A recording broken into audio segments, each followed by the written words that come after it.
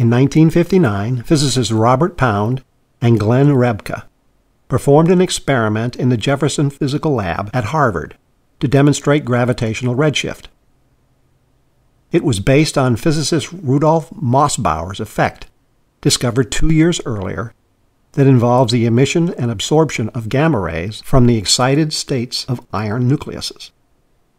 Here we have an iron atom's nucleus in an excited state. When it falls to a lower energy level, a gamma ray photon carrying the energy is emitted. Once this photon enters a like atom, it will be absorbed, raising the energy level of the encountered atom's nucleus. The problem is that when the gamma ray is ejected, the nucleus recoils. Because of energy momentum conservation, the recoiling energy reduces the energy of the gamma ray the gamma ray is no longer a match for the other nuclei, and it moves right through. There is no absorption. What Mossbauer discovered was that if he embeds the iron atoms in a crystal, the recoil is reduced dramatically, and absorption can be reestablished.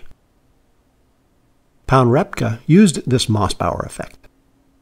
They placed an emitter at the bottom of a tower in the laboratory and installed a detector 22.6 meters above it. No absorption was detected because gravitational redshift changed the frequency of the emitted gamma rays, so no energy match existed in the detector. The calculated shift was extremely small, but the Mossbauer effect is sensitive enough to measure it. They adjusted the detector's velocity down until absorption occurred. We get the amount the frequency changed using the well understood relativistic Doppler redshift equation, just like the Doppler shift in starlight. These results came in within 1.6% of the value predicted by Einstein's field equations using Schwarzschild's metric.